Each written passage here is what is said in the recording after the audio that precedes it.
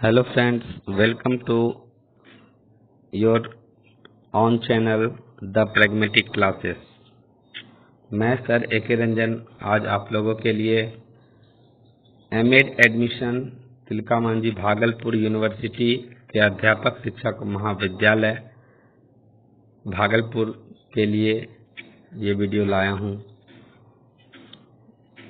इसमें आप देख सकते हैं कि पात्रता है न्यूनतम 55 प्रतिशत अंकों के साथ बीएड, बीएलएड और बीएससी बीएड ये जो है इतना पाँच परसेंट की छूट दी जाएगी उन छात्रों के लिए जो निशक्त अभ्यर्थी हैं। जी हाँ दोस्तों फिर है चयन मेघा का आकार। चयन किस आधार पर किया जाएगा? तो इसमें चयन का आधार है अभ्यर्थी बीएड या बीएलएड या बीए बीएड बीएससी बीएड के प्राप्तांक प्रतिशत के आधार पर मेघा सूची कोटिवार तैयार की जाएगी और समान कोटि के प्राप्तांकों का प्रतिशत समान रहने पर अधिक उम्र वाले अभ्यर्थी को चयन में प्राथमिकता दी जाएगी। तो आयु सीमा मिनिमम कितना है? तो एक जनवरी 2019 को 22 वर्ष मिनिमम होना चाहिए आयु सीमा। जी हाँ फिर अगर आरक्षण की बात करें तो अनुसूची वन के प्रपत्र के अनुसार आरक्षण दिया गया है सभी विद्यार्थियों को।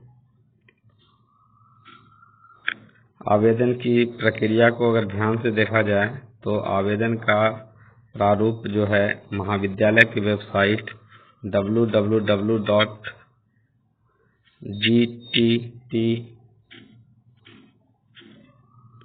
www.gtt cbgp.org या www.cteभागलपुर.in पर आप इसको देख सकते हैं अच्छे से। चलिए अब इसमें और भी डिटेल से जानते हैं कि नामांकन का अंतिम तारीख कब तक है। तो नामांकन की अंतिम तारीख 17 मई है 17 पाँच 2019 तक।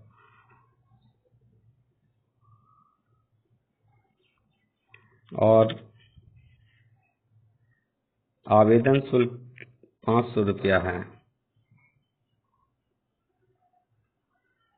चलिए, अब समझते हैं कि क्या क्या ज़रूरी है नामांकन के समय लेके जाना।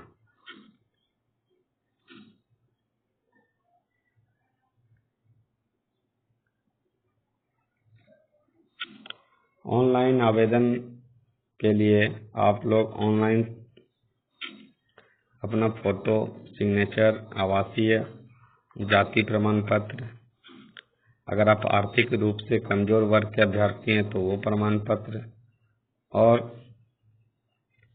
निशक्त अभ्यर्थियों के लिए और सैनिक शल्य चिकित्सक द्वारा निर्गत दिव्यांग प्रमाण पत्र ये सभी साथ में स्नातक, स्नातकोत्तर या बीएड की आपने जो दृढ़ता प्राप्त की, उसका अंक पत्र अपनी जन्म तिथि को प्रमाणित करने के लिए मैट्रिकुलेशन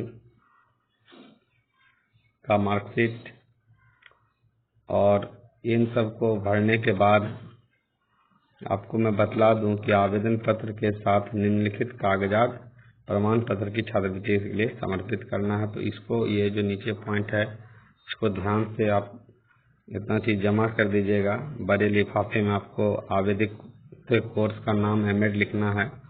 ये आपको पोस्ट करना है।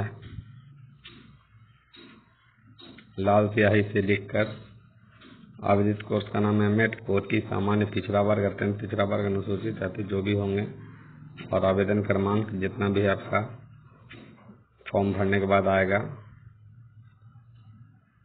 अगर कोई तरह का दिक्कत आती है फॉर्म भरने के समय तो zero six four one two three zero zero seven four four पर आप संपर्क कर सकते हैं और यहाँ पर नोट स्पष्ट रूप से दे दिया गया है कि आप एडमिशन ले तो लेते हैं और थ्योरी की कक्षा में अगर 80 परसेंट अटेंडेंस नहीं होता है तो आपको फॉर्म भरने नहीं दिया जाएगा और प्रैक्टिकल की कक्षा में 90 परसेंट उपस्थिति अनिवार्य है।